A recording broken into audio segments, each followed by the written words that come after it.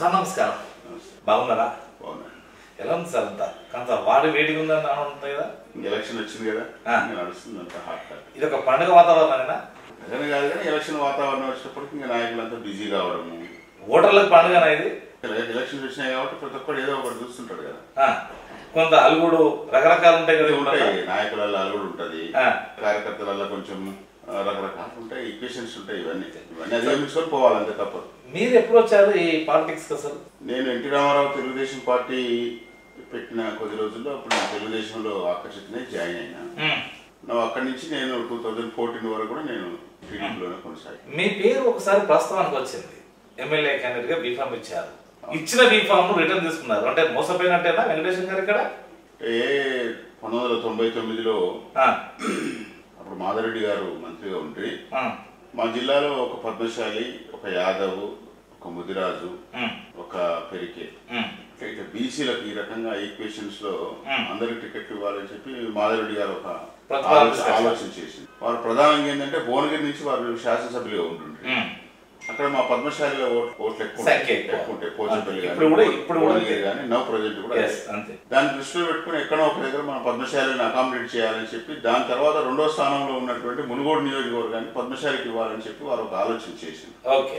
ఆ నేపథ్యంలో పద్మశాలికి మా మునుగోడు నియోజకవర్గం సీట్ వచ్చింది తొంభై తొమ్మిదిలో. ఓకే. అంటే మీకు వచ్చిన సీటు? అయితే ఆ నేపథ్యంలో నేను అప్పుడు యాప్కో డైరెక్టర్గా ఉన్నా. ఆహా, మా జిల్లా నుంచి ఉమ్మడి జిల్లా నుంచి. అప్పుడు మా జిల్లా మంత్రి గారు ఆలోచించి. తెల్ల మార్కండేయ గారు ఇన్ఛార్జిగా ఉండేది. మా నియోజకవర్గం. వారి సొంత నియోజకవర్గం రామన్నపేట. సరే అని చెప్పి మాది కమ్యూనిస్ట్లో పోయేది ఎప్పుడు. నిరంతరం ఆ సీటు అలయన్స్లో కమ్యూనిస్ట్లో పోయేటువంటి సీటే. సరే ఇక్కడ వచ్చి ఏదో పని చేయి కొంచెం ఇన్ఛార్జిగా అని చెప్పి అతను పెడితే అతను పని చేస్తున్నాడు. ఆ నేపథ్యంలో స్థానికంగా ఉన్నటువంటి? పెడితే బాగుంటది అనే ఆలోచనతో అప్పుడు నా పేరు తెర మీదకి వచ్చింది. నేనేం టికెట్ అడగలేదు. అంతే. మీరు అడగలేదు. నేను అడగలేదు నేను యాప్కో డైరెక్టర్ కొనసాగుతున్నా మాధురెడ్డి గారికి బాగా ప్రధాన అంశుడిగా అన్సెట్గా ఉన్నా. వారు బాగా ఇష్టపడి నన్ను ఇష్టపడేవారు. రెడ్డి గారు మాధవరెడ్డి గారు ఇద్దరు పిలిపించి మునుగోడు నువ్వు పోటీ చేయాల్సి వస్తుంది నీ పేరు పరిశీలన ఉంది నేను. టికెట్ ఇస్తాము చెప్పి- చెప్పి సర్ప్రైజ్ పిలిస్తే నాకు నేను. ఆశ్చర్యపోయినా. ఓకే. ఓకే సార్ మీ ఆశీర్వాదం ఉంటే నేను చేస్తా అని ఇప్పుడు నా వయసు ముప్పై ఆరు సంవత్సరాలు. ఓకే ఆడికి తెర క్లియర్ అయిన తర్వాత దాని తర్వాత జరిగినటువంటి సమీకరణలు ఏంటంటే నా పేరు డిసైడ్ అయిపోయింది. బీఫామ్ ఇచ్చారు. ఆ, పేపర్లో కూడా వచ్చింది. ఆ రోజు తెల్లారు మర్నాడు దీక్ష బీఫామ్ ఇస్తారు నాకు. ఆ. రాసి పెట్టింది బీఫామ్ కూడా. Yes. ఆ ఒక్క రోజు ముందు జరిగింది ఏంటంటే రఘుమారెడ్డి గారు కాంగ్రెస్లో ఉండేటప్పుడు. Hmm. ఎంపీ రఘుమారెడ్డి మాజీ ఎంపీ వారు కాంగ్రెస్లో ఉన్నటువంటి వ్యక్తి టీడీపీలోకి వచ్చి జాయిన్ అయినారు నాకు తెల్లారితే బీఫామ్ ఇస్తారని వన్ డే బిఫోర్ ఆ, వచ్చిన తర్వాత మార్కండేయ గారు పోయి మాధవరెడ్డి గారిని బతిలాడి రఘుమారెడ్డి గారి టీం అంత వచ్చింది నేను గెలుస్తాను సార్ నాకు ఒక్కసారి అవకాశం ఇవ్వండి. వెంకటేశానికి ఏజ్ ఉంది ఇంకా. చిన్నపిల్లాడు ముప్పై ఆరు ముప్పై ఏడు సంవత్సరాలు ఉంది కదా అని చెప్పని. కొంచెం సంజాయించి ఇంటెలిజెన్స్ రిపోర్ట్ కూడా.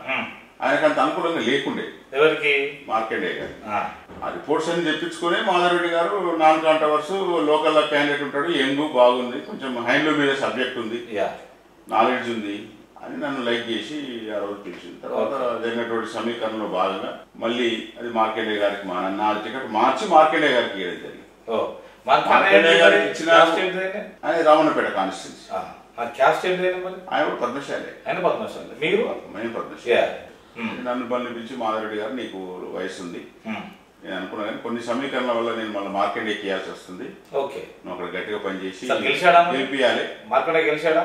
అని చెప్తే ఆయన కొరకు కూడా గెలుపు కొరకు హార్ట్ఫుల్గా పనిచేసిన. చివరిలో మా దగ్గర ఉన్న మా మాజీ మంత్రి గోవర్ధన్ రెడ్డి ఉండేది. మా సొంత మండలమే ఆయన కూడా. చండూరు మండలం. ఆయన మీద ఒక మూడు వేల ఆరు వందల ఓట్లతో ఓడిపోయింది మార్కండే గారు. అప్పుడు ఉన్నటువంటి వాతావరణంలో ఏదేమైనా కానీ మీరైతే నష్టపోయారా? నష్టపోయినప్పుడు నాకు టికెట్ వచ్చుంటే గెలిచేవాడిని. నాతో పాటు ఉన్నటువంటి నాయకులందరూ కూడా విభేదించింది ఆ రోజు మార్కండే గారిని. దాంతోనే ఎట్లా అయినా మూడు వేల ఆరు వందలతో ఓడిపోయింది కానీ మనకు వచ్చుంటే అప్పుడు మంచి అవకాశం ఉండేది గెలిచేవాడిని. అది దురదృష్టం జరిగింది. సో ఆ తర్వాత పరిణామాలు? దాని తర్వాత కంటిన్యూ అయితేనే ఉంది. నేను తెలుగుదేశంలోనే ఉన్నా. Okay two thousand four two thousand ఫోర్కి వచ్చింది. టూ థౌసండ్ ఫోర్లో మళ్ళీ క్లెయిమ్ చేసిన టికెట్ ఇవ్వమని. మళ్ళీ మార్కెట్ ఎందుకంటే ఆల్రెడీ ఒకసారి అయితే పేరు ప్రపోజల్ వచ్చింది కదా ఇక. మళ్ళీ మార్కెండే గారు మళ్ళీ నాకు ఇవ్వని ఆయన వచ్చిండు. ఆ, మళ్ళీ మా ఇద్దరి మధ్యన మళ్ళీ క్రాషెస్ మళ్ళీ వచ్చినాయి. ఓకే. అప్పుడు దేవేంద్ర గౌడ్ గారు మీ హోంమంత్రి ఉండే మీ ఇద్దరికి మళ్ళా డివిజన్ వచ్చేటట్టుంది ఇద్దరిలో ఎవరికి ఇచ్చినా అని చెప్పి నువ్వే ఒక కాంట్రవర్సీ ఒక పద్మశాలి క్యాండిడేట్ని ప్రపోజ్ చేయి మంచి క్యాండిడేట్ని అని. అని మీకు మిమ్మల్ని అడిగారు. అప్పుడు కాశీనాథ్ అని ఒక పబ్లిక్ ప్రాసిక్యూటర్ ఉండే. పద్మశాల అతను దేవరకొండ కానిస్టేబుల్. మాకంటే బెటర్ సార్ చదువు ఉంది అంత పర్వాలేదు బాగున్నాడు ఇంటలెక్చువల్. అది కాదండి. సపోజ్ నీకు నైన్టీ నైన్లో వచ్చింది. ఫోర్ వరకు ఈ నాలుగు సంవత్సరాల కాల పరిధిలో ఇక్కడ స్థానికులు ఇంకా ఎలా అనేది అధిగమిస్తున్నారు ఇంకా ఎలా ఉంటుందో అనేది దాని మాకు. కాదు. మీ ఇద్దరిని పక్క పెడతా మీ ఇద్దరి కంటే ఇంకా మడకలమంట అర్థం ఏంది ఇక్కడ. ఇప్పుడు చంద్రబాబు గారి స్టైల్ ఏముంటదంటే. ఆయనకి ఏమైనా కాంట్రవర్సీ ఉన్నప్పుడు ఇవన్నీ మెరిట్స్ మీద ఇవన్నీ చూస్తాడు ఆయన బాగా. ఆయనకు ఉన్నటువంటి నేరుగా చంద్రబాబు చెప్పలే కదా ఈ విషయం అంటే ఇంటెలిజెన్స్ రిపోర్ట్ ఉంటది. డివిజన్ వచ్చింది వెంకటేశం ఒక గ్రూప్ అయిపోయిండు మార్కెండ్ ఏదో ఒక గ్రూప్ అయిపోయింది. అనే దాని మీద ఆలోచించిందా ఏం చేసిందో తెలియదు అప్పుడు. నన్ను దేవేంద్ర సార్ గారు అప్పుడు కూడా నష్టపోయా సపోర్ట్ చేస్తే ఇక నేను అప్పుడు కూడా కాశీ మరి వచ్చింది. రానప్పుడు ఎవరికో ఒకరు మంచి వ్యక్తి ఇప్పిద్దాంలే అని చెప్పి నేను మార్కెండ్ యాక్సెప్ట్ చేయలేదు ఏంటి ఏమన్నా వ్యక్తిగతంగా మీకు ఏమన్నా వైరుధ్యం ఉందా? ఇప్పుడు సెకండ్ టైం ఆయనకు ఒకసారి ఇచ్చినా ఓడిపోయినాం. ఆయన నియోజకవర్గం కాదు. వదిలేసిపోవాలి కదా. అచ్చా. అయినా కూడా మళ్ళీ టూ థౌసండ్ ఫోర్లో కూడా మళ్ళీ క్లెయిమ్ చేసి. మా ఇద్దరి మధ్య కాకుండా ఇంకోటి కనిపించేయండి అని చెప్పి నేను ఆ రోజు. మాట్లాడి చెప్పినాం. కాశీనాథ్ ప్రపోజ్ చేసినాం. కాశీనాథ్ టికెట్ వచ్చింది. కాశీనాథ్ ఓడిపోయాడు రెండు సార్లు అయిపోయింది. నైన్లో పరిస్థితి ఏంటి? టూ థౌజండ్ నైన్కి వచ్చేటప్పటికి మాకు మళ్ళీ కమ్యూనిస్ట్ కొత్త వచ్చింది. కమ్యూనిస్ట్ కొత్తలో యాదగిరిరావు మాజీ ఎమ్మెల్యే. మా దగ్గర ఉన్నటువంటి ఇంతకుముందు నారాయణరావు ఎమ్మెల్యే వాళ్ళ కొడుకు ఇచ్చిండ్రు. ఓకే. వాళ్ళ కొడుకు ఇచ్చిన కష్టపడి పనిచేసినాం అతను ఇతను గెలిపించాను నేను చీఫ్ ఎలక్షన్ ఏజెంట్గా ఉంటాను ఆయనకు నేను- కాన్స్టిట్యూన్సీ ఇంపార్టెంట్ అప్పటికి మార్కెనే లేదు. చీఫ్ ఎలక్షన్ ఏజెంట్గా ఉండి ఇప్పుడు ఒక నాలుగు వేల ఓట్లతో మాజీ మంత్రి గోవర్ధన్ రెడ్డి మీద నాలుగు వేల ఓట్లతో గెలిపించాను so then two thousand fourteen వచ్చారు. అంటే ఇంతకాలం మొత్తం టీడీపీ మీద అంటే తెలంగాణ ఉద్యమంలో మీ పాత్ర లేదా మరి? అంటే తెలంగాణ ఉద్యమంలో యాక్చువల్గా ఉన్న మాట వాస్తవాలు చెప్పాలి. తెలుగుదేశంలో కరే సరైనటువంటి స్టాండ్ తీసుకోక చంద్రబాబు. మేము తెలంగాణ ఉద్యమంలో అంత సివిల్ మేము పోలేకపోయాం అంటే ఉంది ఉన్నది. ఆలోచన ఉంది యాక్టివిటీస్లో ఉండవచ్చు కానీ బహిరంగంగా లేకపోవచ్చు అంతేనా ఇదే ఇప్పుడు అంటే పార్టీ ఉంటది కదా లైన్ ఉంటది కదా. పార్టీ లైన్ని మనం అధిగమించుకోలేము కదా ఆ. దాని కొరకు మనం సిన్సియర్గా పనిచేసినాం సో దెన్ అంటే టోటల్గా ఉద్దేశం ఉన్నప్పటికీ తాను యూటర్న్ తీసుకోవడము లేదంటే అతను స్టాండ్ తీసుకోపోవడం వల్ల కొంత సతమతంగా ఉన్నారు అంతే. అంతే. తర్వాత తెలంగాణ తర్వాత ఒక లైన్ మాధవ్ రెడ్డితో మీకున్నటువంటి అనుబంధం? మాధురెడ్డి గారితో నాకు మంచి అనుబంధం ఉండేది. అంటే తాను లేకపోవడం వల్ల తొంభై తొమ్మిదిలో మేము ఓడిపోయిన తర్వాత ఒక రోజు నన్ను పిలిచిండు. ఉమ్, నీకు నేనున్నా కదా నేను చూస్తాను. నీ భవిష్యత్తు ఉంది ఇక్కడ అని చెప్పి నాతో కూడా మాట్లాడాడు. ఓకే. చాలా సందర్భాలు. ఆయన- ఆయన బ్రతుకుంటే ఉమ్, నాకేదో ఒక పొజిషన్ వచ్చేది. మా ఎన్నికలు అయిపోయినాక ఒక ఆరు మాసాలకి తొంభై తొమ్మిదిలో తర్వాత ఎన్నికలు అయిపోయినాక ఒక ఆరు మాసాలకి ఆయన చనిపోయాడు బ్రాహ్మణ్స్లో ఆయన బ్రతుకుంటే మనం పొలిటికల్ టర్న్ అయ్యేటోడు యా. అది మా దురదృష్టం. సో దెన్ అంటే మీరు టిఆర్ఎస్లోకి రాలేదు కాబట్టి కూడా ఇట్లా ఏమన్నా కొంత నష్టపోయారు అనుకోవచ్చా మరి? స్టార్టింగ్లో టిఆర్ఎస్ ఉద్యమం కొనసాగుతుంది. ఇక మేము తెలుగుదేశం పార్టీకి బాగా సింక్ అయి ఉన్న వాళ్ళము. అచ్చా. ఆ రకంగా ఇక మేము టిఆర్ఎస్ పార్టీలో ఉన్నాయా లేవా అప్పుడు అసలు? అంటే తెలంగాణ వస్తుందా రాదా తెలియదు కానీ మొత్తం మీద ఏంది సందిగ్ధమైనటువంటి పరిస్థితి ఉంది. కాంగ్రెస్ ఇస్తాను చెప్తుంది మళ్ళీ దాటేస్తుంది. ఈ రకంగా కేసీఆర్ ఒక పోరాటం కొనసాగిస్తుంది చేస్తున్నాడు ఏమైతే అసలు తెలంగాణ ఉద్యమం అంతకన్నా ముందైతే స్టార్ట్ అయింది. దీన్ని కైవసం చేసుకోవడంలో విజయవంతమైన కేసీఆర్ గారు? చెప్పాలి. ఇక్కడ మంత్రి పదవి చంద్రబాబు నాయుడు ఇవ్వకపోవడం వల్లనే బయటకు వచ్చిందా? అంతే. లేదా డిప్యూటీ స్పీకర్ అది కూడా ఒక దళిత మహిళ పైన కింద ఉండడం ఏంటి. తెలుగు కలవాన్ని పక్కన పెట్టినప్పుడు. అనేక రకాల సమస్యలు ఉత్పన్నమవుతాయి. ఓకే. అందులో భాగమే కేసీఆర్. రాజకీయాల్లో కొంతమంది నాయకులు ఏం చేశారంటే భయపడుతుంటారు. ఆ, తెలుగు తక్కువ అని పెట్టుకోవాలి. తెలుగు కలవాన్ని పెట్టుకుంటే మన ప్రమాదము అనేటువంటి ఆలోచన చూసినారా? ఆ, అదే ప్రమాదం. ఆ, భయభ్రాంతులకు గురై ఒక అభద్రతా భావానికి గురైతే చూసిన. దాంతోనే ఇటువంటి పరిణామాలు ఉత్పన్నమవుతాయి రాజకీయాలు అనేక చూస్తున్నాను నేను. ముప్పై సంవత్సరాల తెలుగులోనే పక్కన పెట్టుకోవాలి. పెట్టుకోవాలి. బలహీన పెట్టుకుంటే ఏముంటుందండి? కేసీఆర్ తెలుగు కల్లుడు మాటకారి మీ మహానాడు జరుగుతుండేది. ఎంతమంది ఉపన్యాసం ఇచ్చినా కూడా. ఆ. డిస్టర్బెన్స్ కంట్రోల్ కావాలంటే కేసీఆర్ తీసుకొచ్చేది. ఆ, మీరు ఉపన్యాసం పెట్టండి అంటే గంట సేపు దారాలుగా కొట్టాడు నాన్ స్టాప్. ఆయన ఉపన్యాసం అయిపోయేంత వరకు ఇంత ఇంత పిన్ డ్రాప్ సైలెంట్ ఉండేది సభ. ఓకే. అంటే వినాలనే ఆసక్తి. అతని దగ్గర ఉన్నటువంటి సబ్జెక్టు. మాట్లాడేటువంటి మాట్లాడ- సమయస్ఫూర్తిగా మాట్లాడేటువంటి అతని మాట ధోరణి. అదే ఇవాళ కేసీఆర్ ఉద్యమం నడిపించినట్టు అతనికి ఉన్నటువంటి తెలివితేటలు అతనికి. ఉన్నటువంటి మాట తనతోనే దాన్ని తీసుకొచ్చింది తప్ప. ఏదో డబ్బుతోనో ఇంకో దాంతోనో దేంతోనో దేంతోనో చేయలేదు కదా. అవును. దాన్ని మనం అప్రిషియేట్ చేయాల్సిందే కదా. అది ఎవరైనా శత్రువు అనేది ఇవ్వాల్సిందే భయపడ్డాడు చంద్రబాబు. భయపడి పక్కకు పంపించేసిండు. ఒక ఉద్యమం స్టార్ట్ అయింది. ఇవాళ ఏమైంది? తెలంగాణ వచ్చింది. ఎస్ ఉన్నదాంట్లో నాకు పదవులు ఉంటే ఉంటే పోతే పోతే అనుకున్నాడు. లైన్ తీసుకున్నాడు. ఉంది? తెలంగాణ రాష్ట్రాన్ని దోచుకుంటున్నారు అనేటువంటి భావన ఆయన మైండ్లో ఉంది. ఓకే తెలుగుదేశంలో ఉన్నప్పుడు కూడా ఉన్నది. ఆయన ఒక సందర్భంలో చెప్పేటట్టు నన్ను. తెలంగాణ ప్రాజెక్టు కనీసం ఆ గేట్లకు రంగులు కూడా వేస్తలేరు. ఆంధ్ర వాళ్ళంతా. ఆయన ఒక మైండ్లో ఉంది. ఎస్ ఇప్పుడు నేను పదవుతున్న అవసరం లేదు బయటకు వచ్చినా కదా ఏదో ఒక లైన్ తీసుకొని పోదాం అనుకుంటే తెలంగాణ ఉద్యమంలో కూర్చుంది ఓకే. ఇలా సక్సెస్ అయ్యింది సంతోషం. ఎలా ఉంది ఇప్పుడు ద ప్రపోజల్ అంతా? అసలు ఇక్కడ ఎలక్షన్ సీజన్ బాగా స్టార్ట్ అయిందంతా వస్తుంది. ఇంకా వాడి నామినేషన్స్ ఎవరు వేయలేదు. ఆ, బహుశా రేపు అంటే మొత్తం అందరి పాత వాళ్ళకి ఇవ్వడం నవంబర్ బై ఎలక్షన్లో కూడా ఇప్పుడున్నటువంటి. కూసుకుంట్ల ప్రభాకర్ రెడ్డి గారు. ప్రభాకర్. సో ఎలా అంటే అప్పుడు కొంత అసలు ఈయన గెలుతాడా లేదా అనే కోణంలో ఉండేది సరే పార్టీ అంతా ఒకటే రకరకాల ఇది ఒక స్టాండ్ తీసుకున్నారు అయిపోయింది ఇప్పుడు ఎలా ఉండబోతుంది అసలు ఇక్కడ మా నియోజకవర్గంలో బీఆర్ఎస్ పార్టీ బలంగానే ఉంది. ఓకే. మళ్ళీ మీకు అపోజిట్గా అంటే తానే కావచ్చు కానీ ఏది పార్టీ మారింది కాంగ్రెస్ పార్టీ రూపంలో వస్తున్నాడు. ఓకే. మళ్ళీ రాజగోపాల్ రెడ్డి మాకే ఉంటారు అవును మీకు కూడా సత్సంబంధాలు ఉన్నాయి కదా రాజగోపాల్ రెడ్డికి మీకు? రాజగోపాల్ రెడ్డితో కొంతకాలం నేను పనిచేసిన. రెండు వేల పద్నాలుగులో ఆ తర్వాత కాంగ్రెస్కి వెళ్ళారు మీరు కాంగ్రెస్ పోయినా. ఇక్కడ నాకు రెండు వేల పద్నాలుగు వరకు నేను మునుగోడు నియోజకవర్గానికి నేను in charge Telugu Desam. Party. Chandrababu Naidu నన్ను బాగా గుర్తుపెట్టాడు. ఓకే. పేరు పెట్టి పిలిచాడు ఇప్పటికి కూడా. అయితే దాని తర్వాత నా టికెట్ బీజేపీకి ఇచ్చిండ్రు.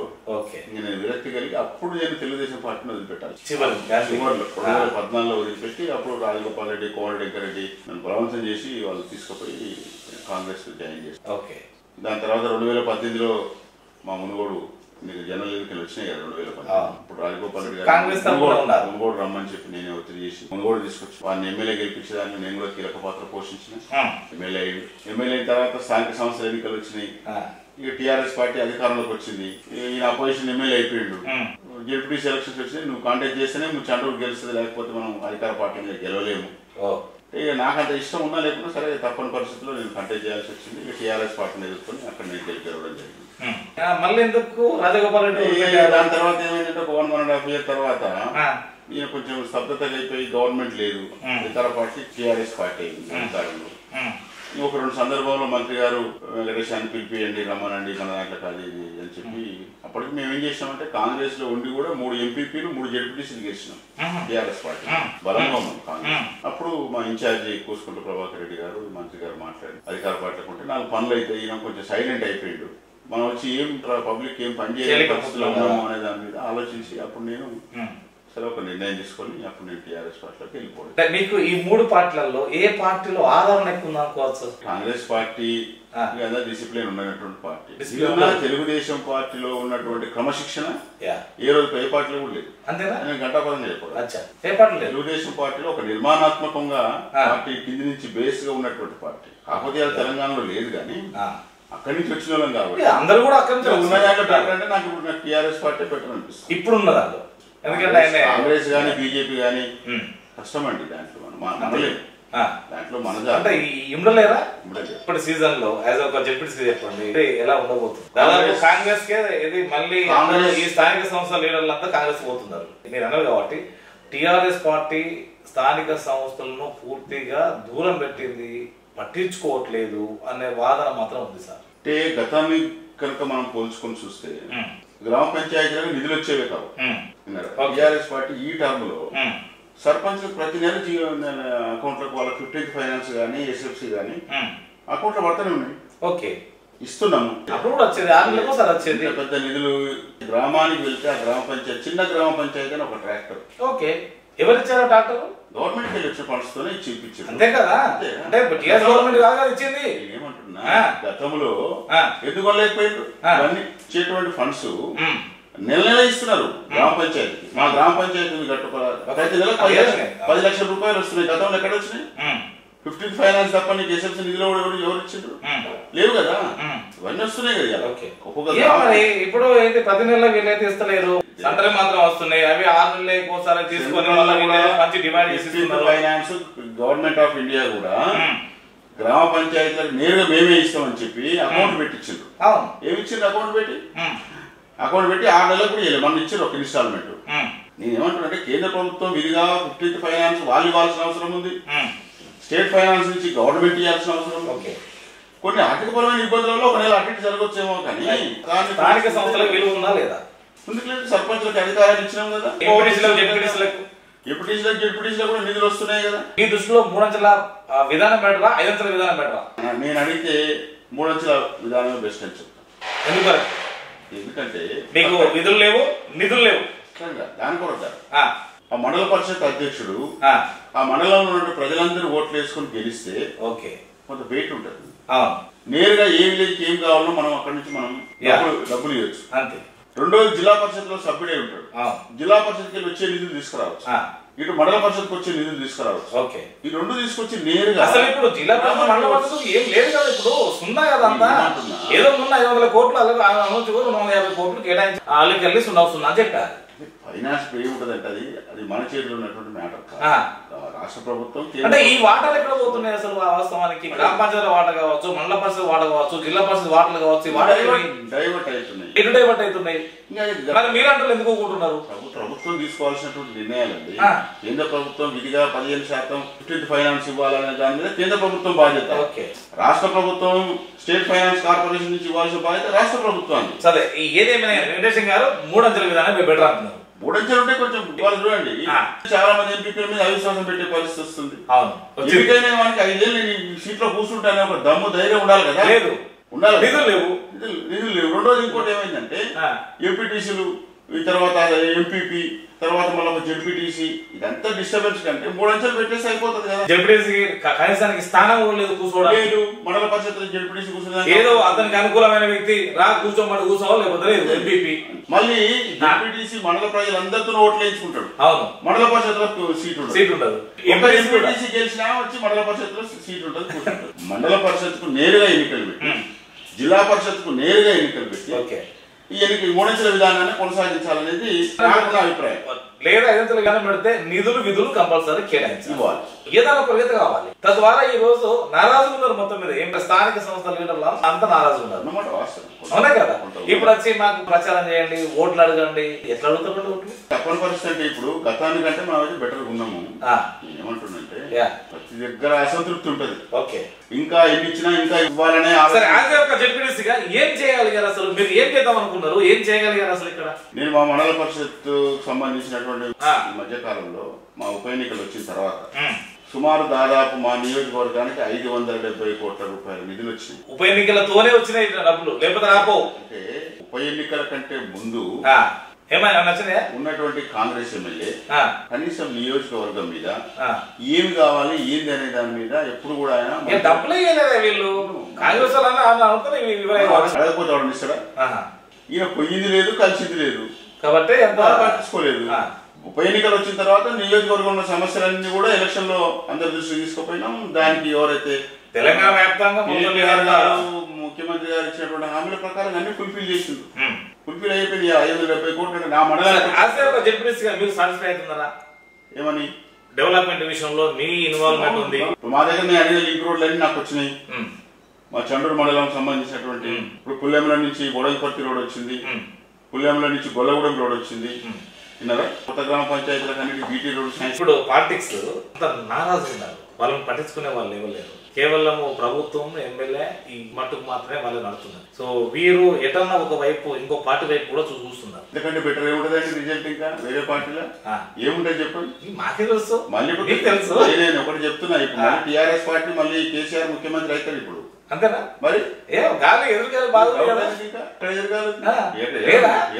ఎక్కడ అవపడతలేదా మీకు? కాంగ్రెస్ వాళ్ళు ఎక్కడండి వాళ్ళు కొట్టుకొని సచ్చేది సరిపోతుంది వాళ్ళు ఈ- రాష్ట్రంలో ప్రభుత్వాన్ని ఏర్పాటు చేస్తారు ఆ కాంగ్రెస్ అయ్యో చేయరా ఎక్కడి నుంచి చేస్తారు. ఎక్కడ చేస్తారు. చూసిరు కదా నిన్న మన అంత ఒక్కొక్కరు టికెట్ రానంతా వలసలు పోతున్నారు. ఎటు పోతుంది మళ్ళీ టీఆర్ఎస్కి భయపడుతున్నారు కదా. ఏమంటున్నట్టే ఇందులో లేకపోతే అందులో తీసుకుంటాను అందులో ఇందులో తీసుకుంటాను ఎప్పుడు తిరుగుడేనా? నేనేమంటున్నంటే రెండు వేల పద్నాలుగులో తెలంగాణ రాకముందుకు ఈ రాష్ట్రంలో ఉన్న ప్రగతి ఏంది? రెండు వేల పద్నాలుగు నుంచి ఇప్పుడు ఉన్నటువంటి ప్రగతి? రెండు వేల పద్నాలుగు కన్నా ముందు అప్పెంత ఉన్నది. రెండు వేల పద్నాలుగు తర్వాత అప్పెంత ఉన్నది. అప్పుడు కేసీఆర్ తీసుకున్నాడండి? పబ్లిక్ కొరకే తీసుకొచ్చి ఎవరి కొరకు తీసుకున్నాడు? ప్రభుత్వ ఏ అభివృద్ధి కొరక? వాళ్ళ కుటుంబాలు ఆర్థికంగా బలోపేతం కావడానికా. ఏడా చెప్పండి. చెప్పండి మీరు చెప్పండి. మీ ప్రాంతం తీసుకుందాం. ఇప్పుడున్న సిచ్యువేషన్లో ప్రజల జీవన ఆర్థిక విధానం మెరుగుపడిందా? ఏం సంక్షేమ పథకాలు రైతాంగానికి ఈ రోజు. రైతు బంధు ఇస్తున్నాం. ఏ వందల కోట్లలోనికి చెప్పేది రండి రైతులకే కదా మేజర్గా రైతుకి ఏం చేసిన గత ముందుకు? ఇదండి తొమ్మిది గంటల కరెంట్ ఇస్తాను గతంలో. రాజశేఖర రెడ్డి ప్రభుత్వంలో తొమ్మిది గంటల కరెంట్ ఇస్తాను ప్రామిస్ చేసిన. కాంగ్రెస్ పార్టీ. ఎక్కడ ఇచ్చిందండి. ట్రాన్స్ఫార్మర్ మార్చే దిక్కు లేదు. ఓకే. ట్రాన్స్ఫార్మర్ ఒక ట్రాన్స్ఫార్మర్ కాలిపోతే వారం రోజులకు చేయలేదు సరే నేనేమంటున్నా అప్పటికిప్పుడు కరెంట్ మెరుగైందా లేదా? ఓకే. రైతాంగానికి అనేక సంక్షేమ కార్యక్రమాలు ఇస్తున్నాం. రైతు బంధు ఇస్తున్నాం. రైతు బీమా ఇస్తున్నాం. ఒక రైతు చనిపోతే ఐదు లక్షల రూపాయలు వస్తుంది. మ్మ్. ఈ రకంగా అనేక కార్యక్రమాలు చేస్తున్నాం ఈ రోజు. సీఎం రిలీఫ్ ఫండ్ కావాలా? ఒక ఇరవై వేల లక్ష రూపాయలు కావాలంటే ముఖ్యమంత్రి దగ్గర పోతే ముఖ్యమంత్రి దయాదాక్షిణ్యం మీద రాసేదండి. పేదవాడు ఆరోగ్యం బాగు చేయించుకుంటే ఒక లక్ష రూపాయలు కావాలంటే ఇచ్చేవాళ్ళు కాదు. పేదవాడికి ఇవాళ లక్షల రూపాయల సీఎం రిలీఫ్ ఫండ్ ఇస్తుంది ప్రభుత్వం. అసలు ఇంకోటి సీఎం రిలీఫ్ ఫండ్ కొరకు ఈ అంటే కార్యకర్తల నుంచి వెళ్ళి ఒక ఎంపీపీ జెడ్పీటీసీ ఒక ఎమ్మెల్యే దాకా అసలు ఏంది యొక్క ఏది మీ యొక్క లాబింగా లేకపోతే పైరోకులు ఏంది ఇక్కడ? అన్ని రాజకీయ పార్టీలకు సంబంధించిన సీఎం రిలీఫ్ ఫండ్ వచ్చిందా రాలేదా? సో రాబో కాలంలో వెంకటేశ్వర గారి యొక్క భవిష్యత్తు ఎలా ఉండబోతుంది అనుకోవచ్చు. అసలు ఏంటి? ఇప్పటికే ఎప్పుడో ఒక స్టాండ్ చూసి ఇక్కడికే పరిమితమయ్యారు. మనం ఒకటండి మనం ఏం రాసి పెట్టి మనం తీసుకొచ్చుకోలేదు. పదవులు వస్తాయి అది వస్తాయని మనం మనం చేసే కార్యక్రమం చేసుకుంటూ పోతున్నాం. బీసీలలో ఐక్యత కొరకు ఏమైనా ముందుండే అవకాశం ఉంటుందా వెంకటేశ్వర గారు? చూద్దాం రేపు మూమెంట్. ఎప్పుడు వచ్చినా కూడా బీసీల కొరకు అవకాశం కొరకు ఉంటే నా వంతుగా తప్పకుండా నేను ఈ జాతి ఏ పార్టీలో పర్వాలేదు అందరూ అందరూ కూడా ఈ అవకాశం ఉందా? జాతిలో ఈ కులంలో ఈ జాతిలో నేను పుట్టినందుకు ఒక బీసీ వాణిగా తప్పకుండా నా వంతు నేను నా వంతు నా వంతు పాత్ర నేను పోషిస్తాను. మీరు పార్టీలకు అతీతంగా మీ బీసీ వర్గానికి ఏకతాటిపై తీసుకొచ్చే ప్రయత్నాలు ఇలాంటి మనం రావాలి రావాలి రాబోయేటువంటి రోజులు అందరం ఐకమత్యం కావాలి. ఐకమత్యమై ప్రభుత్వాల మీద మనం ఒత్తిడి చేయాలి. ఒత్తిడి చేసి రాజ్యాధికారాన్ని మనం కూడా తీసుకోవాలి. తీసుకొని మనం కూడా కొంత రాజకీయ చైతన్యం వచ్చినప్పుడు మనం మనం మన మీద ఆధారపడ్డటువంటి వెనుకబడ్డ కులాలు కూడా న్యాయం చేసినటువంటి వాళ్ళం సో ఇదండి మీరు చూశారు కదా.